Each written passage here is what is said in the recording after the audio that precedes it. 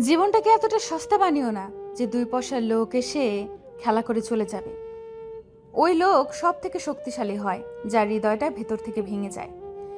জীবনে কাউকে পাওয়ার পরেও যদি আরও ভালো কাউকে পাওয়ার আশা করো, তাহলে একদিন দেখবে জীবনের সবচেয়ে বড় মূল্যবান কাউকে তুমি হারিয়ে ফেলেছ। প্রতিটা মানুষের জীবনেই একটা ভুলতে না পারার মানুষ থাকে। প্রতিটা মানুষই কোমল হৃদয় নিয়ে জন্মায়, কিন্তু চারপাশের মানুষ সেটা কঠোর করে তোলে। একজন ডিপ্রেশনে ভুগতে থাকা মানুষই ভালো করে জানে সকলের সামনে নিজেকে হাসি খুশি প্রমাণ করাটা ঠিক কতটা কষ্টকর। হতাশ হবেন না।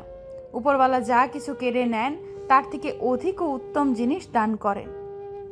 কিছু কিছু মানুষকে আমরা যখন আপন ভেবে গুরুত্ব দেই, তখন ওরা এমন ভাব দেখায় যেন তাদের কাছে আমাদের কোনো মূল্যই নেই। কিছু কিছু মানুষ আছে এই পৃথিবীতে, যারা সুখটা কেড়ে নিয়ে বলে, ভালো থেকো। খুব বেশি প্রয়োজন না হলে কেউ কাউকে মনে রাখে না, এটাই বাস্তব।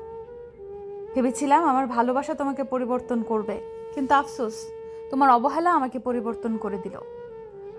কখনো টাকার অহংকার করো না। সময় কখন কাকে রাজা আর কাকে ভিখারি বানাবে, তা সময় ছাড়া আর কেউ জানে না। গায়ের রং কালো হলেও তাকে ভালোবাসা যায়, কিন্তু মনের রং কালো হলে তাকে ভালোবাসা যায় না।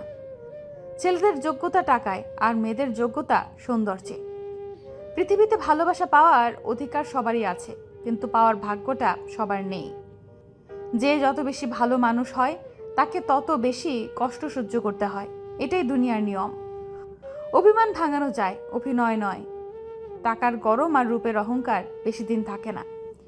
পেছনে কথা বলার জন্য কিছু লোক রেখেছি। কোনো বেতন ছাড়া খুব ভালো সার্ভিস দেয়। এক লোক সারা জীবন ঔষধের শক্তি পরীক্ষা করছিলেন, কিন্তু দোয়ার শক্তি দেখে হতবাক হয়ে গেলেন। নীরবতা অনেক কথা বলে, যা বোঝার ক্ষমতা সবার থাকে না। কষ্ট তো তখনই লাগে যখন স্বপ্ন দেখানো মানুষটা স্বপ্নের মতো হারিয়ে যায়। পুরোপুরি ভাঙাচোরা একটা মানুষকে যারা সযত্নে কুড়িয়ে নেয়, তারাই আসলে কয়লার খনিতে হীরের সন্ধান পায়। ভদ্রঘরের থেকে ভালো বিদ্যালয় কোথাও নেই, ভালো অভিভাবকের মতো শিক্ষক আর কেউ নেই। প্রতিটি বাগানে লেখা থাকে, ফুল ছেঁড়া নিষেধ। এমনিভাবে প্রতিটি ভালোবাসার মাঝেও যদি লেখা থাকতো, মন ভাঙা নিষেধ, তাহলে পুরো পৃথিবীটা অনেক সুন্দর হতো। পেন্সিল ছেড়ে যেদিন কলম ধরেছি, সেদিন থেকেই ভুল শোধরানোর সুযোগটা হারিয়ে ফেলেছি। বিশ্বাস আর ভালোবাসা একে অপরের পরিপূরক।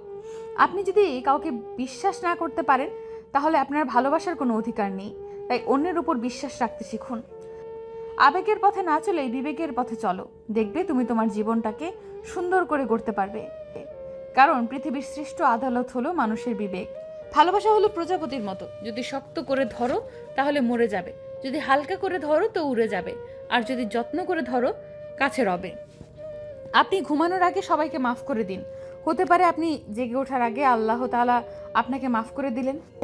আমি জানি, আমি অবশ্যই কিছু না কিছু, কারণ আল্লাহ তাআলা কোনো কিছুকেই বেকার করে বানায়নি।